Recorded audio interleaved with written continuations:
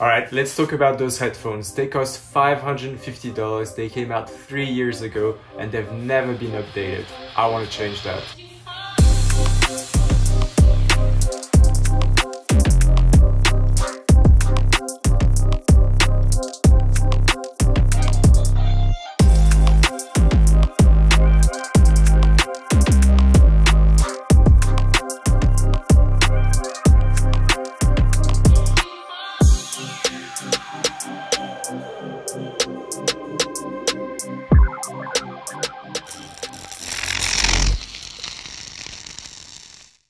It's honestly some great engineering. The battery is easily replaceable for once, but there's one huge problem with it.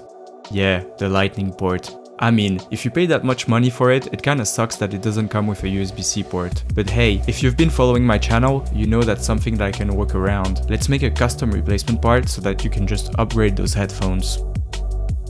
I swear they make it too easy for me. There's a metal lip that you can just push out and boom, you have the perfect size hole for a USB-C connector. No drilling. Now my connector is going to sit on top of the existing board, but I want to make sure not to damage any components, so I create a shape that doesn't touch any of the tallest components. I import my open source USB-C conversion circuit. Then I spend hours looking for the right connector.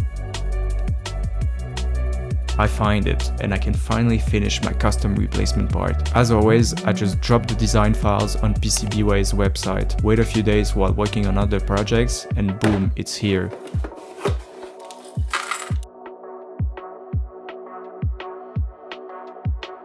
Hey, sex is cool, but have you ever had a PCB working on your first try? Pure pleasure.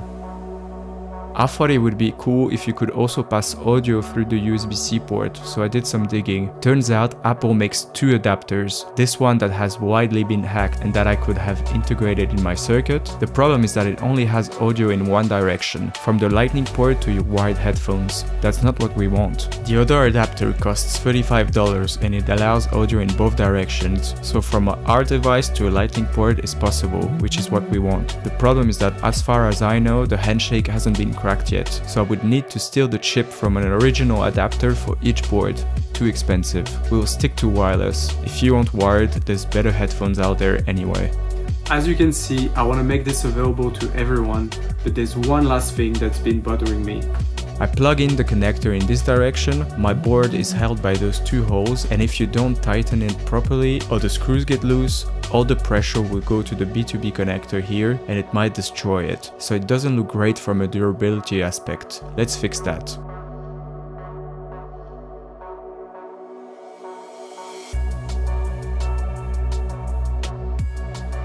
Now the problem is fixed because we have a flexible part that separates the two rigid parts of the board.